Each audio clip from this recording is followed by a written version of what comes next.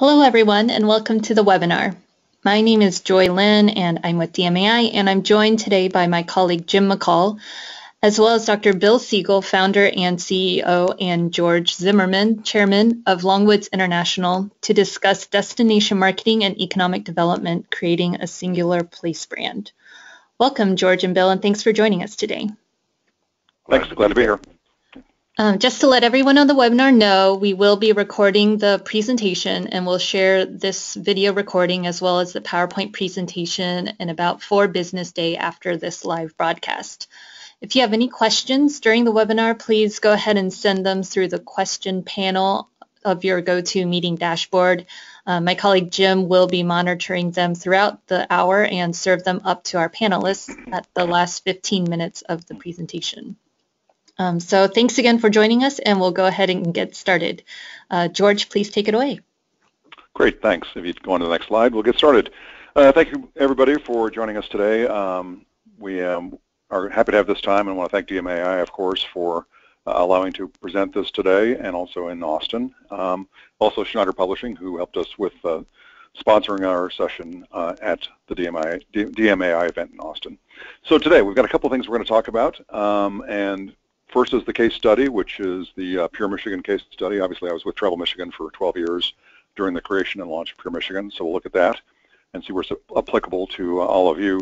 Second is this whole idea of how the halo effect of tourism advertising and visitation uh, impacts not just tourism, but economic development objectives and the image of a state or city or region. So that'll, that'll be the second part of what we do. So let's get started on to the next slide, please. And we're going to start with Pure Michigan, um, a, a, case study I know and love, and we'll move on to the next slide. So a couple things. One is, you know, whenever I talk about this topic, um, not really here to tell you what might work for you uh, as a destination, a city, a state, a region, whatever it might be, but what happened with Pure Michigan and the result of it. Uh, the other thing is I'm sharing this in about 10 or 15 minutes, uh, and it's about a, it was a 10-year time period now. Uh, Pure Michigan turns 10 years uh, next year, Obviously, there were lots of ups and downs and bumps along the way, but uh, uh, it was not a straight line. It'll just seem like it in a 10-minute presentation. Uh, so on to the next. So what, you know, what were really the keys for Pure Michigan? You know, looking back, these are the things that always kind of stuck out to me as why it worked. Um, first was the powerful brand message that was created by McCann Detroit that inspired confidence and, and produced results. And so that was kind of the, obviously the, the, the center of what we were doing uh, with McCann. Uh, the second thing was the, having the data to prove the effectiveness, particularly the uh, ROI, return on investment uh, data, that showed how many visitors were being attracted to Michigan, were coming to Michigan because of the campaign, uh, and um, how much they spent and what that meant for the state as far as taxes and ROI. So that was obviously a key factor as well. A third, also very important factor for us was the industry uh, leadership and unity behind both the data and the brand. And it was important that they be kind of there for us for with both, both the data and the brand, and, and they certainly were. Um, and that is what made it work, and that's why we got the budget increases I'll talk about and that kind of thing. And the last thing I would say is, you know, the key was to have enough money to promote the brand. You know, I mean, we with McCann could have created this great uh, brand messaging, but if there wasn't the, the funding, if that did not come through, and that was largely because of the industry's efforts, then obviously the message would not have been uh, seen, heard as widely as it is. So that those are kind of the four keys I look at when I look back at my tenure there. So next, please. And here's what we, you know, leading into this, uh, the first few years I was there, we were really in a, in a kind of a tough spot with smaller budgets every year, um, just continued budget declines. Michigan was in the in the middle of a, by 2005, in the middle of a decade-long recession on its own, um, and so things were going poorly. The state budget was in terrible shape. Uh, they were cutting all the budgets, including the, the tourism budget every year. And so that was, you know, just obviously a, a bad situation. Uh, next, please. In 2005, you know, I always look at it as kind of rock bottom, and that is because we ended up doing less marketing every year because we had less money to work with. Um, the private sector was demoralized, fragmented. Um, it, it, was a bleak time. As I mentioned, we were in the middle of this kind of decade-long Michigan-specific recession. Uh, things were just not good. And in fact, we ranked 50th as a state in hotel occupancy. So we were at the bottom. Um, and the only real bright spot was that in 2004, we had commissioned our first ROI study from Longwoods, um, and we got the results in 2005. and they were positive, even though this was pre-Pure Michigan with our, our former not near as good campaign. Uh, next, please. And so when we got that first data for the old campaign, the old Great Lakes uh, Great Times campaign, which I'm sure almost no one's ever heard of or remembers um, because it was not that memorable, uh, we spent about three and a half million on advertising in 04. Um, it generated almost a million trips to the state. And again, this is the the number of trips motivated, you know, where the the advertising influenced the travel. Obviously, there were many, many, many more trips uh, to the state, but this is that subset that is motivated by the advertising. Visitors spent about 164 million at Michigan businesses, uh, and they paid about 11 million, 11.5 million in state taxes. Most of that is sales tax. And so, for the state of Michigan, they got back about three and a quarter, $3.27 uh, in taxes, in that sales tax for each dollar spent on advertising. So it was positive, and it was this data that really got us the budget increase that made Pure Michigan possible. Um, so next slide, please. And so with that budget increase, which went from 5.7 million uh, in 2005 to 13.2 million in 2006, so more than double, we um, hired McCann Detroit, worked with them on this brand creation, um, and launched Pure Michigan. And we're going to play one of the spots right now because I love them.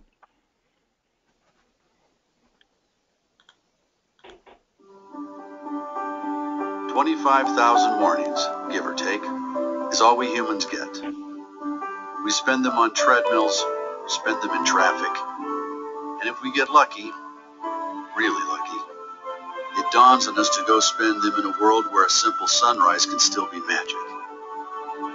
25,000 mornings. Make sure some of them are pure Michigan. Your trip begins at michigan.org. And so with that, um, and, and, and, on any of these spots, the Pure Michigan spots, you can watch on the YouTube uh, Pure Michigan channel in HD and, and see them in a much better way than we're doing them today, but they're, they're out there. So next slide, please. Oops. So as you, many of you probably know, so the campaign won a lot of awards um, over its tenure, and that, and that was great. It was always gratifying to be uh, have that, that recognition. Next, please. And one of the highlights for us was when Forbes uh, put us on this list of the 10 best tourism campaigns uh, back in 2009. Um, I will say, coincidentally, that that if Pure Michigan had not started national advertising in 2009, I'm convinced we would not have been on this list because no one, no one outside of our region would have seen it. But we actually did start national advertising in 2009. Uh, next, please.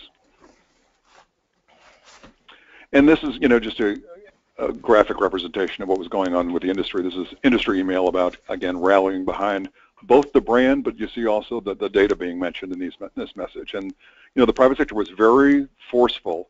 And again, being, coming from being 50th in um, hotel occupancy rate um, once Pure Michigan launched and people got a sense of the power of it and the results of it, um, they were very motivated to, you know, carry the banner for us to the to the Capitol, to legislators, uh, to the governor's office, anybody that needed to rally. So they were very effective in doing that. Uh, next, please. And as a result, again, I give the, the, industry credit for, for most of this. What happened was, so from that 13.2 million, you see that then there was basically almost a straight line, steady upslope on budget and to the where Pure Michigan is today at 29 million. And you know, like a few bumps along the road, but but mostly pretty steady uh, upward. You know, and, and each year we're doing that. We're doing that return on investment research to prove out kind of what happened the previous year how many new visitors came the previous year because of the advertising, what did they spend, et cetera, et cetera. The 2006 is in red because that's the launch of Pure Michigan. 2009 is in red because, as I mentioned, that was when we started doing national advertising, about a 10 to 13 million dollar per year uh, national cable TV buy, which we've done every year since 2009. Uh, next, please. And this really goes to this um, this is where we start talking about kind of the halo effect of all this advertising. So the the, certainly there was that image boost for Michigan as a destination uh, for potential visitors, and it was across many, many brand attributes. And so, as the next slide shows, um, we look when you compare people who, who, had seen the Pure Michigan advertising, and this is a national sample. Uh, they're represented in green on this, with those who have not seen Pure Michigan advertising. Obviously, people in green have a much higher, strongly agree uh, impression of the state of Michigan for all of these things. And actually, this is a distillation of about 60 categories that are con condensed into this group, to these groups. But um, just across the board, people perceive the state much better because of the advertising, which you would expect. Next, please. And so when we look at the results over this uh, the period uh, 06 to 14, most recent data, 22.4 million out-of-state visitors to Michigan because of pure Michigan advertising. Next, please. And they spent about 6.6 billion at Michigan businesses. And next. And that resulted in a, almost a half a billion dollars in state taxes, again, primarily sales tax. So during that period, the cumulative ROI is almost $5 per dollar. Uh, so $5 in taxes for each dollar in out-of-state advertising. Uh, next. And then in 2010, um, we had a governor's race, like many states did, and um, one of the Republican candidates, Rick Snyder, uh, made Pure Michigan a campaign issue, and um, we'd had a Democrat previous governor um, who was termed out, could not run again. And so during this campaign, this candidate, Rick Snyder, says that uh, really Pure Michigan had been underfunded and 25 million should, per year should be the floor. And to me, the, the, the, most kind of compelling thing about this was that here he is a Republican candidate kind of praising the work that had happened in the previous administration. I mean, even though we are, didn't view ourselves as Travel Michigan as particularly a partisan part of state government, uh, still it was a Democrat administration. So um, we were all in for this. We thought this was a great thing not only were we an issue, but an issue in a positive way where a politician was saying that we should spend more on, on tourism marketing. Uh, next, please. And so when the when Snyder's team, he, he won the election, and when so when Governor became Governor Snyder, uh, they they went through and kind of looked at well, so what's going on with um, with marketing in the state? And we've got at that time, Michigan actually had two separate marketing campaigns, both fairly high dollar campaigns. Um, the Pure Michigan campaign was the tourism campaign, and then on the economic development side, they about 2008 or so, um, the Michigan Economic Development Corporation, which was where Travel Michigan was housed as well, launched a separate campaign with a separate agency, which was called the Upper Hand Campaign. Um, and so one of the first things the Snyder team did when they came in and looked at all the data and the results, they basically said, why are we doing two two brands, two campaigns, two agencies? You know, we really can't afford, that doesn't seem like, you know, a great idea for us. I mean, Procter and Gamble can do that with brands because they have the resources to do it, but the state of Michigan certainly did not. And so here's an example of what the Upper Hand campaign looked like uh, before it was uh, canceled in 2011. Let's play that spot. Michigan's Dow Corning Corporation is the world leader in the innovative science of silicon. Their know-how now benefits Michigan's growing field of alternative energy. Thanks to financial and business incentives from the Michigan Economic Development Corporation, our joint venture, Hemlock Semiconductor, will invest more than a billion dollars to expand its production of hyperpure silicon for solar panels. Now is the time to bring your alternative energy company here, because wherever in the world you compete, Michigan can give you the upper hand. So obviously there was just no crossover at all during those that period between 08 and, and 2010 uh, as far as logos or imagery or style or anything. I mean, they're just completely separate. Again, two separate agencies running them. So um, in fact, there was a lot of internal competition between the agencies and the internal working groups, as you might expect, um, over who was doing better and et cetera, et cetera. But anyway, that got canceled. And so next slide, please. And so now the new new administration said, we're going to unify everything under Pure Michigan. Uh, the, the, slight distinction they made, looking back, it probably doesn't really matter whether we would have or not, was that they went with the green M you see here on the logo for the building uh, for the kind of business side, and tourism uses the blue stylized M, exactly the same logo otherwise. Um, and next slide, please. But you'll see that even on the business development website, for example, and everything, everything became Pure Michigan. Um, no matter, and, and, at this point, we really were the state's marketing brand for for everything, for all purposes. Uh, next, please. And so then, you know, we went through a really a brand expansion period, finding new ways to get that brand messaging out. So we sponsored, and this was a paid sponsorship, a NASCAR race, the Pure Michigan 400. Uh, next. Um, this was a deal we had with a Michigan-based water company. They, they, we had many businesses who wanted to affiliate with the brand as it became more powerful, and so they, this was not a paid sponsorship. They just wanted to feature Pure Michigan on their packaging because they figured basically associating with Pure Michigan was good for them. Uh, so our agency helped create the packaging, but they executed it. Same with Coca-Cola, exactly the same kind of thing. Coca-Cola paid for everything on these joint things we did with them. They just wanted to be associated with the brand in Michigan. And then we had Michigan Beers um, that used the logo on their labeling, that kind of thing. Next. Um, we did have a paid sponsorship with the Tigers as a good way to reach the TV audience, uh, especially of the um, opposing team, um, so that when we were playing the Yankees, for example, or whatever, we could get to that audience in New York. Agriculture picked it up for their purposes, um, which is obviously a natural kind of fit. And next. Uh, Kroger, very similar. So this is the inside of a Kroger in Michigan, and they, they too were willing to pay for anything that they could do to, to showcase the Michigan agricultural products they had. So they did all, the, you know, our agency would do all the creative work, but they would pay to execute it all. And so these were out throughout um, Michigan stores, and even some of the nonprofits got into it. We just had a lot of the, the brand became powerful enough that a lot that a lot of businesses, nonprofits, organizations beyond the normal tourism partners that you would, and I'll talk about those in a second, uh, that, that, also wanted to be part of this uh, in some way. Next, please. And this is what I think, you know, I, this is kind of the last things that got done before I left was this was something we had worked on for a while and was kind of one of our biggest all marketing victories in a sense because it costs nothing. I mean, the state has to make license plates and Michigan now is going through and changing every standard plate to be a pure Michigan plate. So it's not a vanity plate or a special plate. Eventually, they will all be pure Michigan plates, even the universities, um, university plates and veterans plates and everything, all these specialty plates as well. Um, so, you know, and basically at zero cost to travel Michigan. And then getting the entry signage at the state done also was kind of one of those, you know, markers in the ground that said we are the state's marketing brand, that pure Michigan is Michigan and vice versa. And next. And we, as I mentioned, we also had uh, uh, tourism partners who were very supportive of the effort and kind of, we'd had a partner advertising program before Pure Michigan, but it really took off once Pure Michigan launched in 2006. Next, please. And so if you look in uh, 2000, by 14, we had 44 advertising partners. These were, were tourism-related entities who put up money to have Pure Michigan ads created about them. Um, almost $6 million worth of investment from the private sector by 14. Uh, the range was anything from $20,000 to, to do a, a, a, small radio buy in a few markets with us with a Pure Michigan ad about a maybe even a smaller destination to $500,000 from the partner which basically bought the partner a chance to be um, part of the national cable TV buy. And so they would get a million dollars worth of cable TV for $500,000. Um, but, it, but to the consumer, it would be a pure Michigan ad. It would just happen to be about one place, not a more general ad about the state. And then there you can see the growth from, two, from 2002. Next, please. And so here's one of those spots, a partner spot.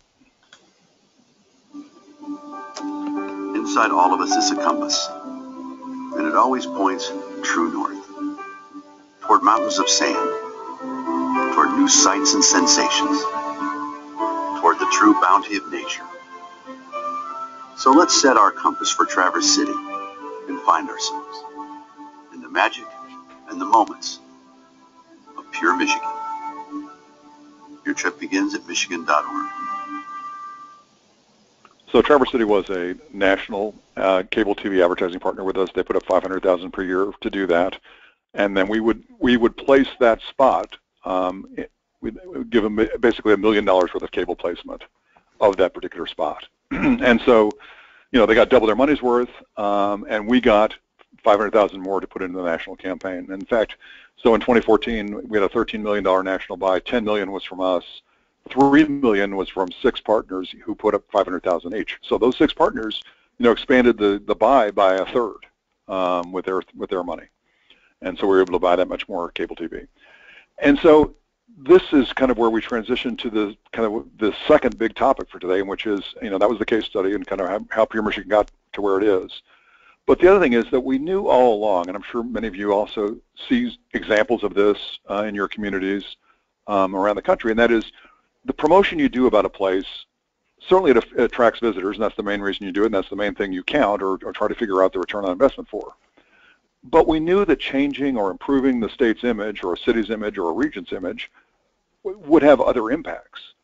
Now, we didn't really figure, have a way to figure out what they were, um, but we did see anecdotal things, and here's an example of that. So, you know, in 2012, we had started that national advertising in 2009. Prior to that national advertising, the New York market had not been a market at all for Michigan ever. We'd never done anything there, nor had Traverse City really done anything there.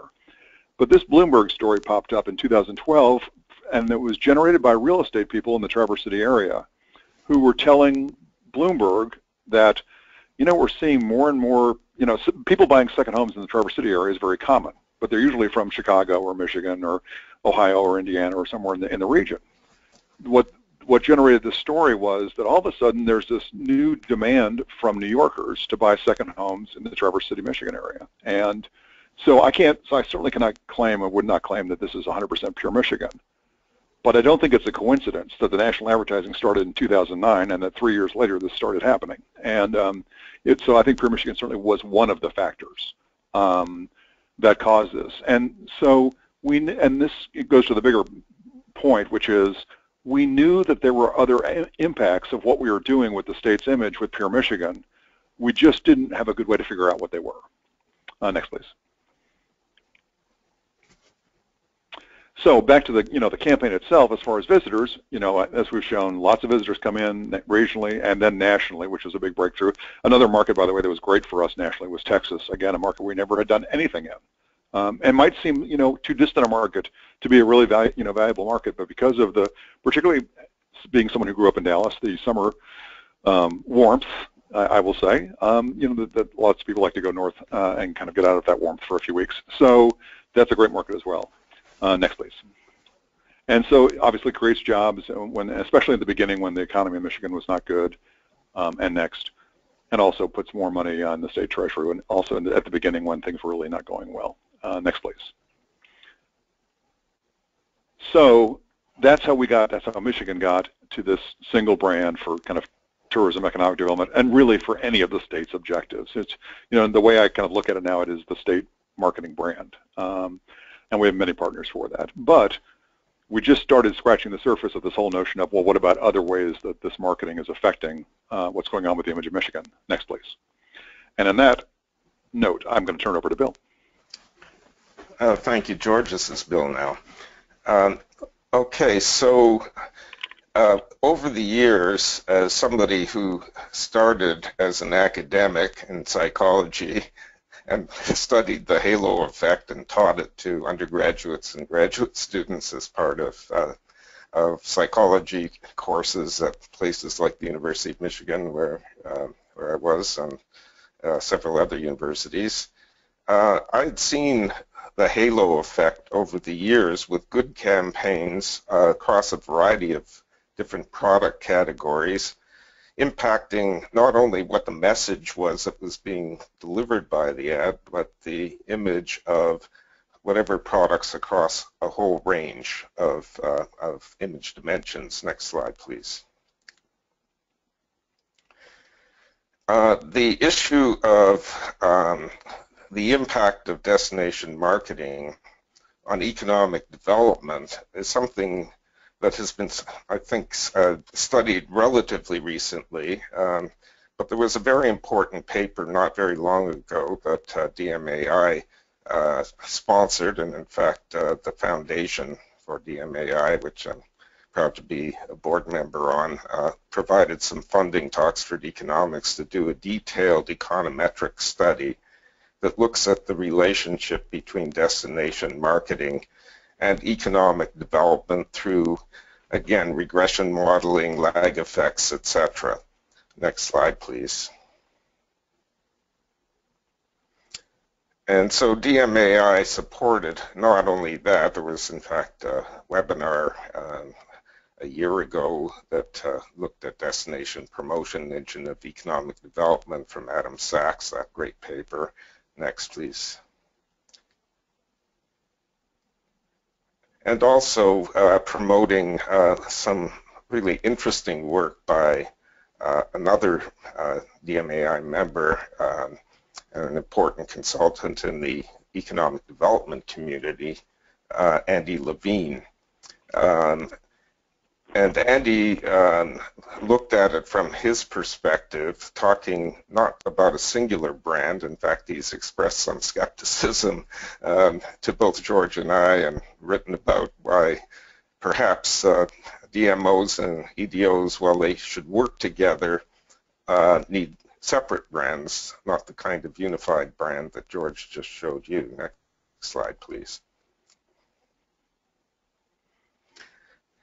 So today what I'd like to do is to present some uh, new research uh, conducted just in the past year that looks at measurement of economic development impact uh, from tourism campaigns. And what we have done, I'm going to show you today, is uh, measure the impact of large-scale advertising effectiveness studies looking at a number of different DMOs. And our goal here is to show not just that there's some impact, but to try and get some insight into the how and the why of what uh, the synergy that um, uh, George took advantage of in Michigan uh, between destination marketing, tourism campaigns, and economic development by one, awareness and image enhancement, which is standard rule for advertising. But we also uh, looked at uh, what happens if you actually visit the destination. If the advertising works or for other reasons you get exposed to the destination, not through images uh, and advertising, but through actual visitation. Next slide.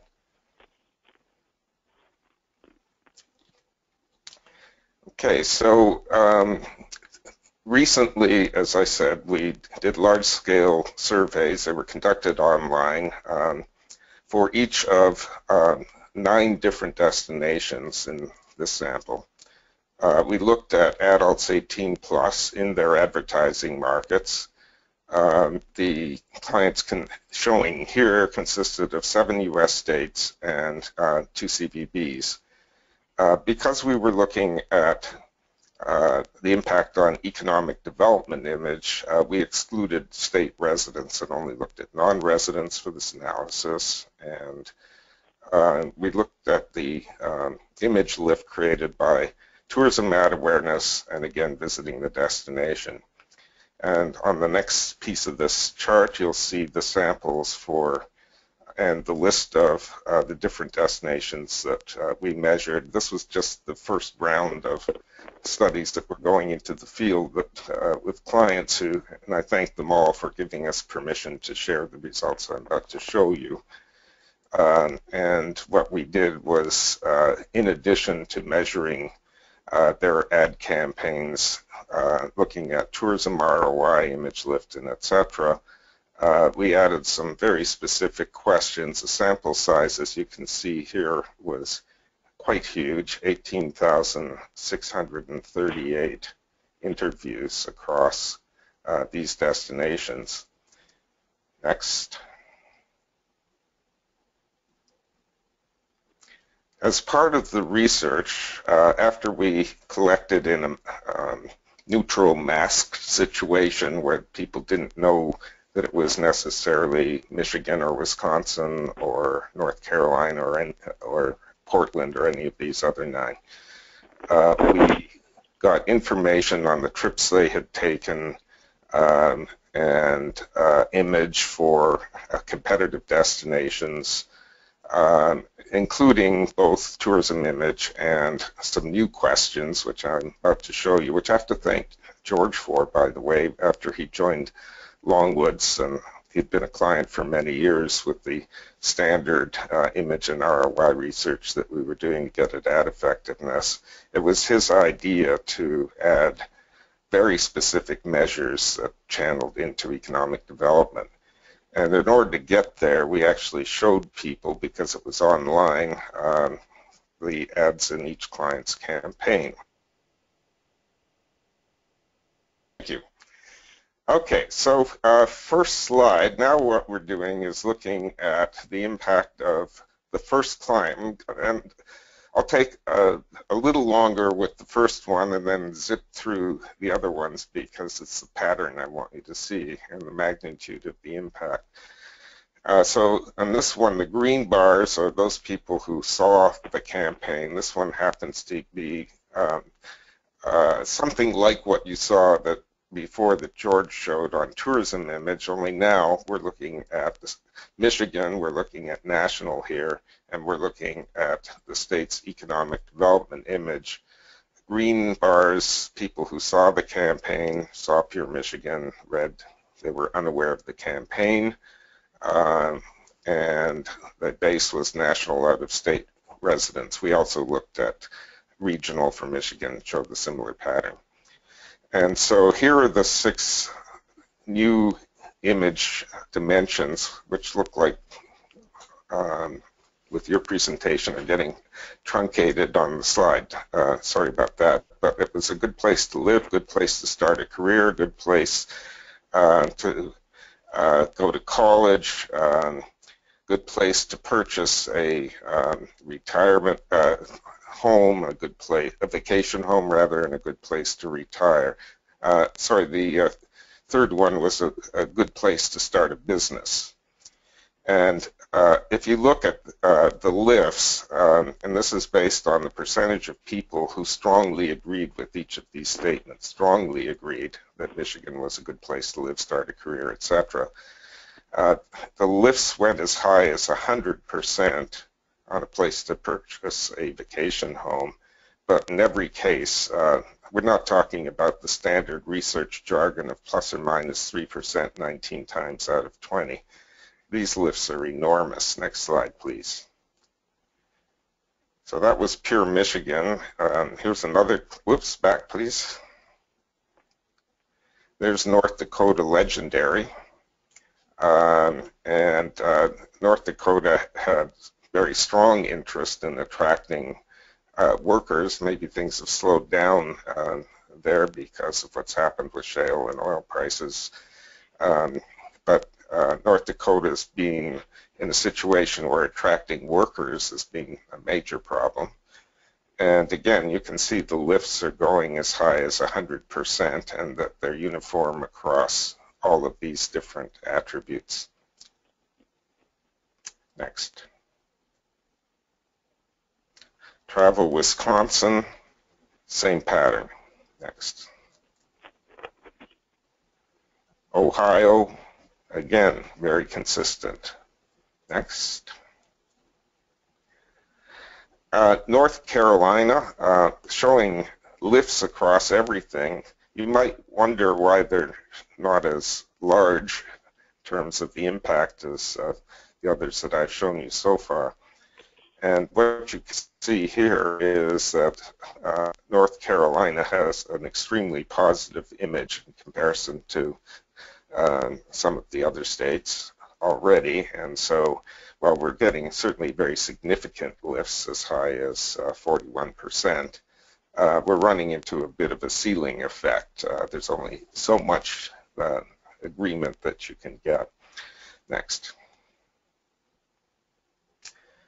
And there's Minnesota with, again, some pretty large lifts and very consistent. Next. Ah, New Mexico, true. There's a good one. They only recently, in the past few years, have put any money into um, advertising. And uh, uh, they hired um, actually a package goods uh, marketer, Monique Jacobson, to be the travel director. And she revolutionized what was happening from marketing effort and also uniting her industry because despite the fact, and I've been to New Mexico uh, a number of times, um, it's one of my favorite places uh, to visit. It's got culture, scenery, all kinds of wonderful things going on there. Uh, their problem, and the research showed it, was that nobody knew unless they had visited. And so we're getting, we're starting with a low base, but look at the kind of lifts they are getting. And when you see, and you can go online and check out the New Mexico True campaign, it may be the next Pure Michigan in terms of an emotional wallop, and it's showing up in terms of the research next. So that's the states. Um, here was the first CVB that we had the opportunity to measure. We'll be doing a lot more uh, this fall. Um, and there's Portland, Oregon. Um, again, huge lifts. Um, in, in this case, going up to 129% for a good place to purchase a vacation home. And finally, on this set of slides, coming up is a little one that maybe you haven't heard of, uh, Lake Erie Shores and Islands. It's a regional CVB, and again, um, nice product on the lake and um, a very pretty place, but no awareness. And they got a campaign going out there, and look at the kind of lifts they generated, up to 169% on a good place to start a career. And that's out of a tourism campaign. Next slide. Okay, so what you have seen, um, again, just to summarize, is uh, a uniform um, set of lifts for nine different destination campaigns that I showed you, um, covering a range of uh, DMOs, and uh, looking at the impact of tourism advertising. Now, what about visitation? Next slide. And there's Michigan National, and it's showing visitation is, is larger, larger in terms of impact, as you might expect, than just seeing some ads, but um, huge lifts if uh, you can actually motivate people uh, to come to Michigan. Um, next.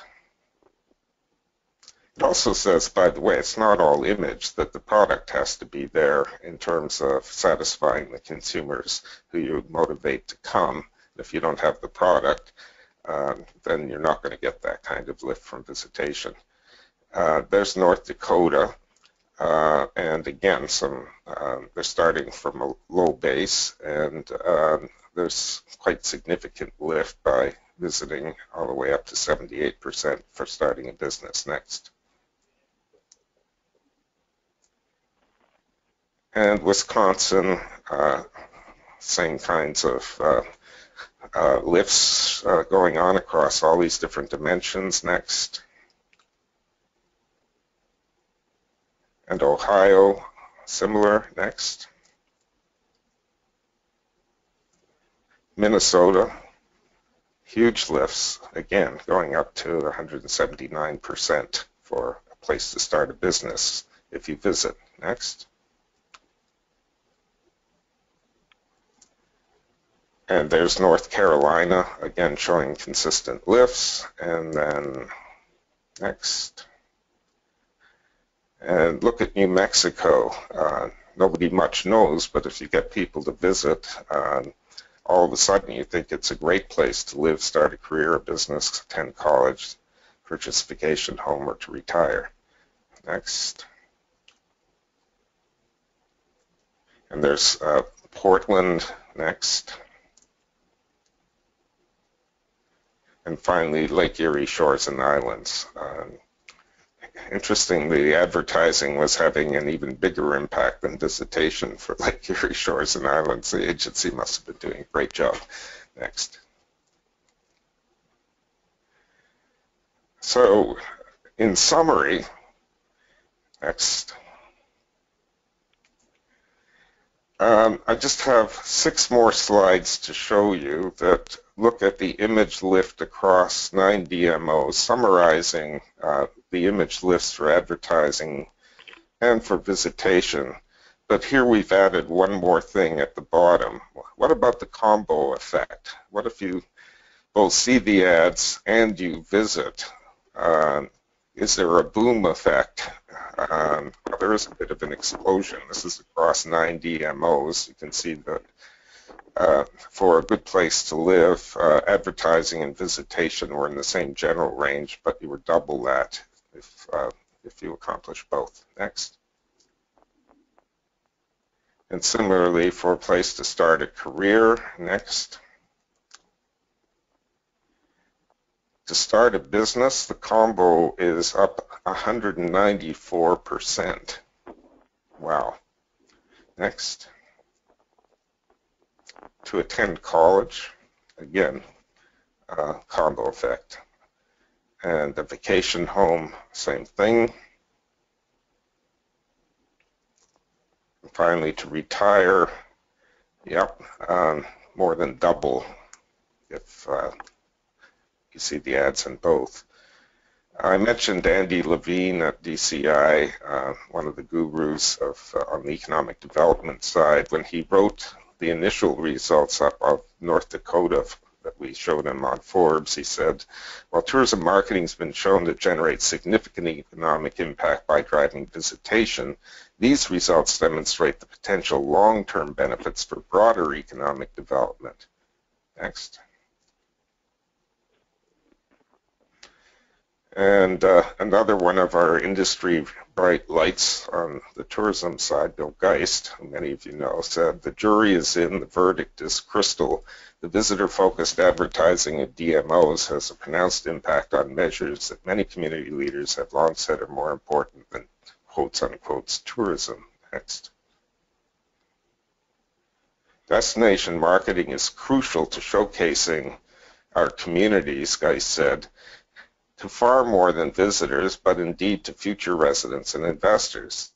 And now no community leader can honestly argue with that, talking about these research findings. Uh, uh, Governor of Wisconsin, Scott Walker, who of course is uh, uh now running for the Republican leadership, uh, was quoted in the media saying, investing in tourism promotion marketing at the national, state, and local level is not only an effective way to attract visitors and grow the economy, it also enhances the image of the state as a place to live and do business. He said that after seeing our research. Next. So the halo effect in psychology, which I mentioned, um, uh, it was Edward L.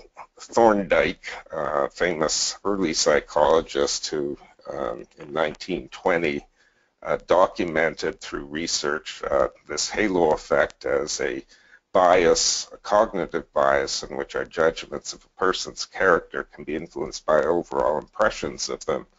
He started out by doing research um, that looked at uh, commanding officers' um, evaluation of soldiers and in terms of uh, their physical properties, uh, such as neatness, voice, physique, etc., their intellect, their leadership, their personal uh, qualities, including uh, cooperation. And uh, anyway, he um, uh, looked at the correlation between all of these, and um, well, the correlations he reported weren't as high as what I've seen in this research. When for the researchers listening in on here, uh, you would look at uh, the correlation between um, tourism uh, image attributes and economic development attributes, you'll see that there's a very strong correlation uh, between all of them. They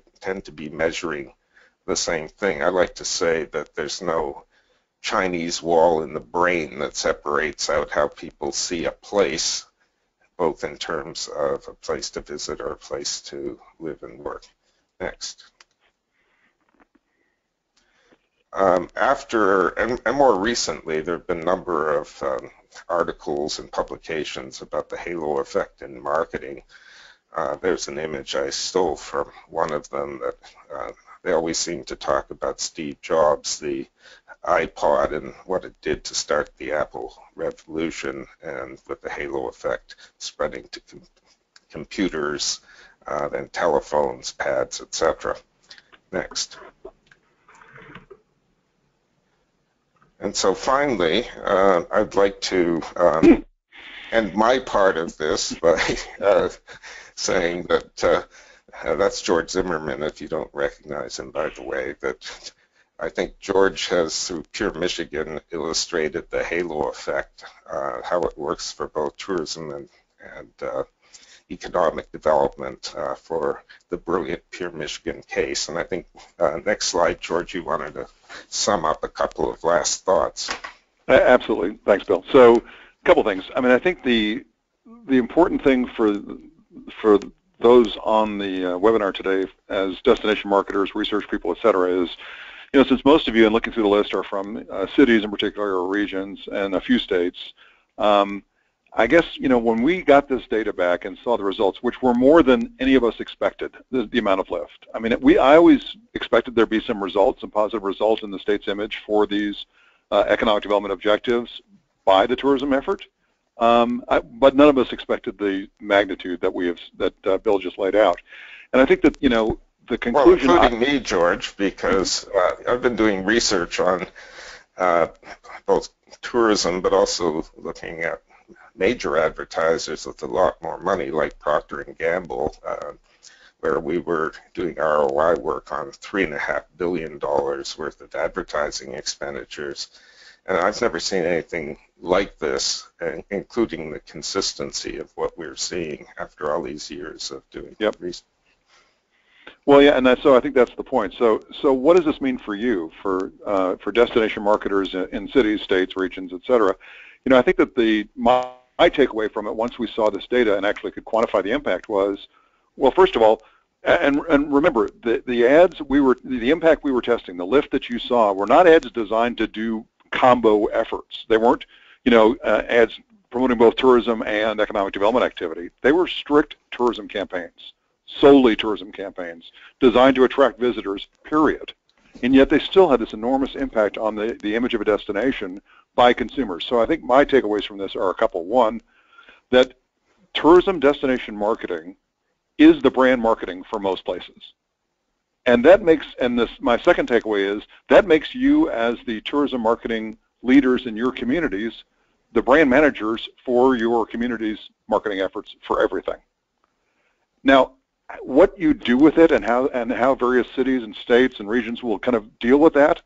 But but I think that that's you know to me is the kind of the logical next step is is for for for the tourism folks to assume the lead as the brand managers for the places they represent for everything.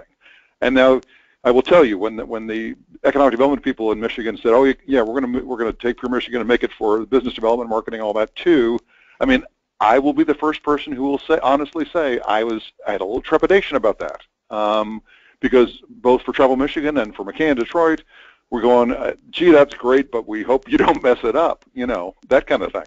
Um, it turns out it worked out fine. It was the right thing to do. But but so but but especially in cities where often obviously the CVB function and the city's economic development efforts, uh, unlike many states where they're, that's housed in one agency, for many cities that's two or three or four different groups doing that kind of work. There's the Bureau, and then there's the DDA, and then there's the Eco Development Corporation, and there's the city itself or the county or whatever.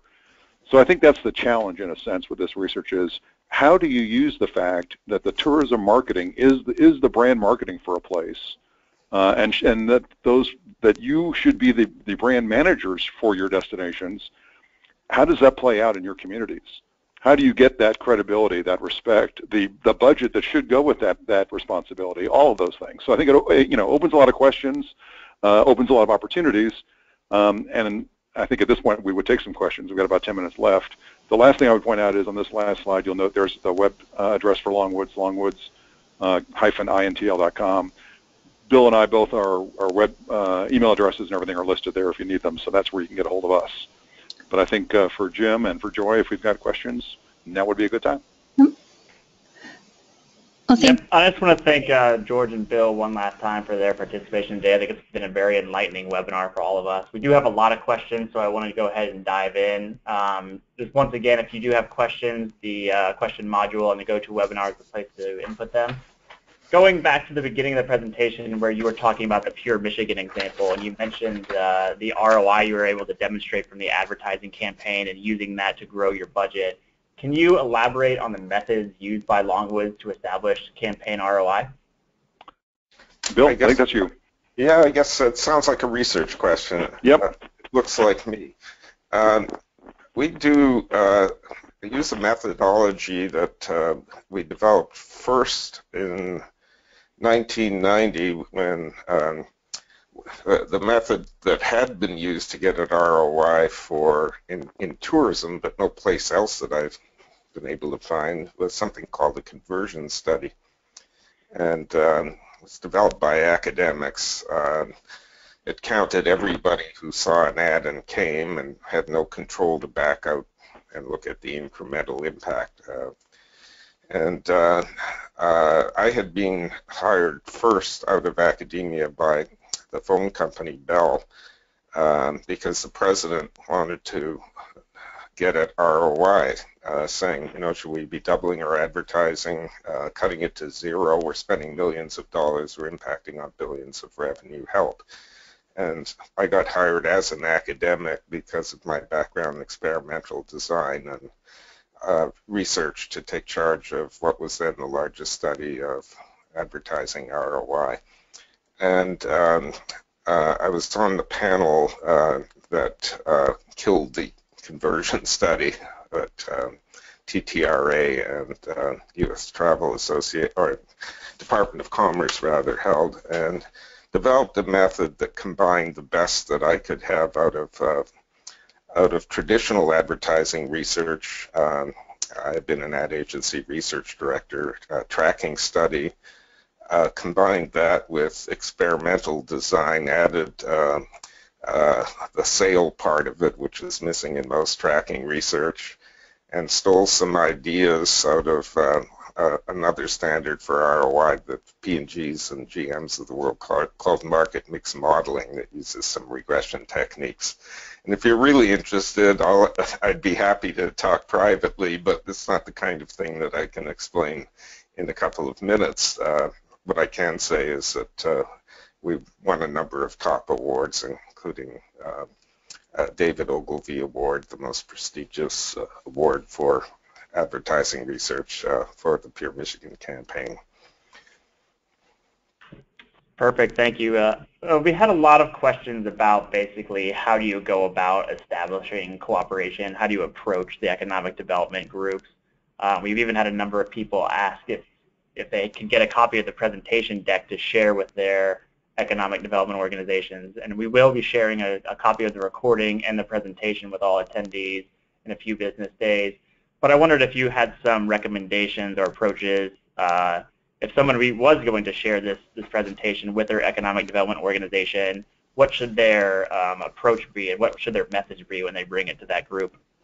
Yeah, one thing I would say is that I, I do know, and uh, in fact, in talking with uh, Andy, Andy Levine from DCI at uh, at DMAI in Austin, you know, I think one the, he made a good point, which is, you know, the one thing is that I think that the tourism, the destination marketing folks would be making a mistake if they saw this as a way to get money from the other group.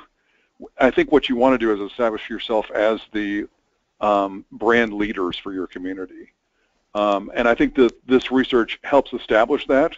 It's also something, frankly, Longwoods we might be able to help you with, so we could talk more about that if that's something you're going to move forward with. But uh, but I think that's you know the the thrust should be that you know, look, there's all evidence there. Again, to help you, you know, get some evidence specific to your community uh, potentially, if, and we can talk about that.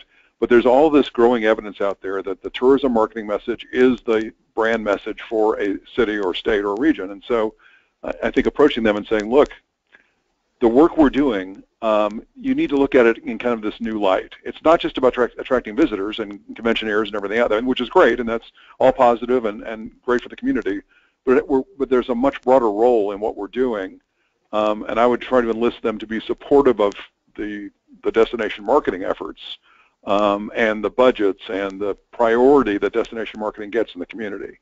Um, but I think that it, you just have to be careful not to, you know, because the, anything that seems to be threatening to them, I think they'll immediately kind of shut it down and say, you know, stay away, keep away from us. Right, don't do a money grab. Yeah. Yeah, I think that's a very good message um, to project. Um, we had a couple of people say that they, they recently launched a, a, big marketing campaign, and they want to know, because the campaign has already begun, is it too late to use a firm like Longwoods uh, to measure the ROI, the ROI of that advertising campaign, or to do a similar study measuring the halo effect of that campaign, just because it's begun already? Uh, no, it's not. Bill, Bill can give more detail, but the short answer is no, because the research is always done after the campaign. Bill, yeah, up to, up to, a couple of months after, uh, so that we can, um, because we're measuring conversion uh, in terms of trip taking for the tourism side, uh, we'd like to give people the opportunity to actually take the trip or we won't get any ROI. So we go in anywhere from right after a campaign is run. A lot, we're about to get into a whole bunch of these studies because um, majority of our clients do spring-summer campaigns. And uh, so it's the fall is a, and early winter are busy times for us on ROI. But certainly we can do it. We don't have to go in ahead of time is the main point. Perfect. Uh, this is a question for George. I want to know what, what the tipping point was to get Michigan's Economic Development Group to adopt the Pure Michigan campaign. Was it just a direct order from the governor, or what was it exactly that made them adopt their campaign versus the Economic Development campaign? Yeah, it really was that the when the, Governor Snyder was elected, you know, he had a transition team, which is the typical thing you do with a new administration coming in. And so during that time period between the election in November and when they took took office in January, uh, as is typical in many states when you have a change of administration, so all of these new people were coming in and kind of looking, you know, kicking the tires of state government. And so when they got to our department, to the Michigan Economic Development Corporation, you know, they basically said, okay, well, present to us kind of what you're doing on both sides, on the on the business marketing side and on the tourism promotion side. And it was from, and then present, you know, and then provide us the data that shows kind of the effect of what you've done uh, over the last few years. And so really it was kind of a, you know, some fresh sets of eyes looking at those results. Um, then that they concluded, well, we see what you've been doing. We think the Pure Michigan thing is great. We don't think the upper hand thing is really makes sense to be separate and a separate campaign and separate agency and separate, you know, million, multi-million dollar budget. So we're going to put it all together under Pure Michigan. So it was really the, you know, they came in as the new leaders uh, and said and took a look at the at the campaigns and the creative and the research and said, yeah, that's the way to go. It should be one brand. Okay, when, when you were looking at the uh, the halo effect result and you looked at um, visitation, those who had visited versus those who hadn't, and the, the difference in lift. Did you do any deeper dive into repeat visitors, how they were affected versus first-time visitors? Uh, not in this research, right, Bill? This is strictly kind of what we presented. The the one point I would make though is, and, and Bill mentioned, but I just want to reinforce it. To me, the most amazing, what I would have predicted would have would have happened with this, since I came up with these questions, was that the key to success would have been to get people to visit. So that you would advertise and then they would visit, and that would be the big payoff as far as lift if they actually got there. But the surprising result, the most surprising result was that just visiting isn't where the biggest payoff is. The big payoff is people who have both seen the ads and visited. That somehow the the way that they are inspired to, to come to a destination through the creative work of the advertising and then the actual experience of visiting the place, that's the big payoff is having both, which to me goes back to my earlier point about being the brand manager for your destination. You know, it is the advertising is as crucial as the visitation. It is because it's the pairing of the two that give you the huge lift. And that's why I, I and the uh, lift that we saw for advertising uh, was in the same league, virtually as large across all those six different uh, measures that George came up with as visitation. Correct. That was a huge surprise to me. Yep, yep. So I think that it is because of that, because to me that points to the, the even more important, you know, how important that tourism advertising marketing is to the image of the destination because it's when it's paired with that in visitation that you really get the best impact as far as pe people thinking about your destination in a new way for all of these other things. And another thing that um, was a huge surprise to me uh, uh, it was how quickly advertising um, can create the, the sorts of impacts we're talking about, including a new campaign. And I've seen the many times, but uh, the classic was Pure Michigan when uh, because it had never gone national, as George said. When they went national the first time, and we actually did a pre and a post um, uh, survey and found that before they had gone in nationally, that uh, compared to its Midwest competition, Michigan was pretty much at the bottom of the list nationally in terms of uh, overall image for a tourism destination, a place that people would really want to visit. It moved in six months of advertising nationally from ninth place to second place. And as somebody who came from academia and was very skeptical, uh, I did move to the dark side of marketing. But uh, when I got into tourism and I see the sort of impacts that a good campaign can create, I still have to shake my head and go, wow, All right, I think we have time for one last question, and it's, it's going back to the advertising and its effect. Um, you guys did uh, two, two examples, Pure Michigan and then also the state of Wisconsin, who have very different uh, campaign strategies. Pure Michigan is very highlighting the physical attributes and uh, culture of Michigan, whereas Wisconsin really goes with that comedic approach and uses a lot of their airplane TV spots. But both campaigns had positive lift in terms of economic development factors.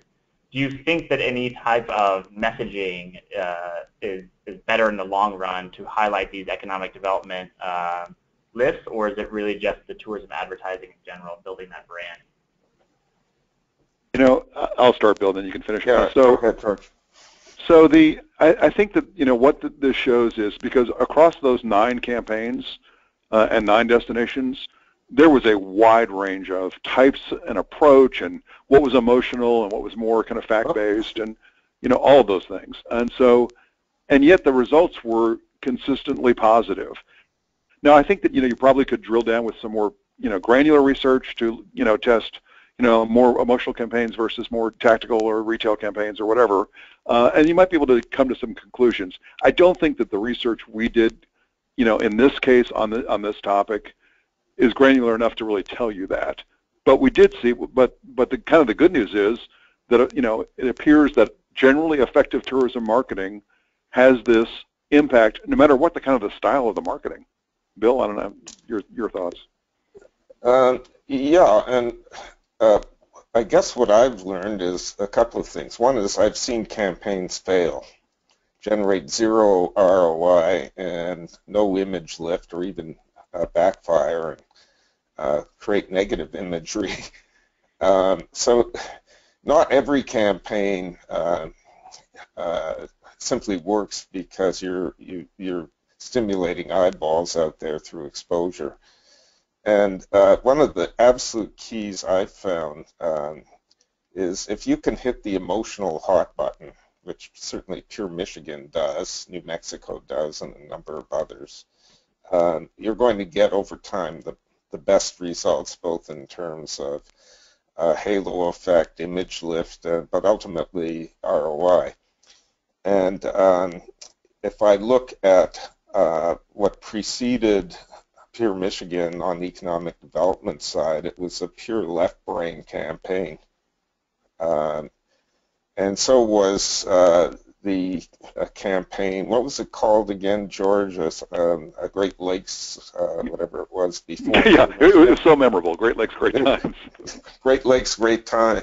Yeah, I mean, it it still got a low but positive ROI, uh, but it was all uh, left brain. Come to Michigan. We got lakes. We got casinos. We got uh, trees. We got whatever. And uh, you know, we work for um, uh, the majority of the states in the region, and uh, they got a lot of the same kind of product. they got lakes, they, they have casinos and, and uh, amusement parks, and etc. So um, where Pure Michigan, I think, is a great example and why it continues every year to enhance the ROI numbers from where we started is because it goes beyond that literal left brain approach that uh, and, and really drives in emotionally. The, the music from the Cider House Rules, Tim Allen's voice, the imagery, uh, I think that was very, very key. Uh, I'd also point out that Michigan's ROI numbers are um, more conservative than for some of our other clients because they insisted that um, we only um, uh, look at the impact on out-of-state visitors, whereas uh, uh, other uh, campaigns that we evaluate uh, very specifically, they're interested in uh, promoting travel from within, not just externally. So their numbers in Michigan are pretty conservative. But that campaign works. Why? It's the emotional factor. Well, George and Bill, I just want to thank you both once again for taking the time today to, to be with us and share this very informative and exciting research. Um, if we didn't have time to answer your question, don't worry, we'll pass those along to George and Bill. Uh, you can also get in touch with them by visiting the website URL listed on the slides. Um, I hope everyone found this informative, and as we continue to drive the collaboration between the destination marketing world and economic development world, I hope that you will continue to stay engaged. Thank you very much.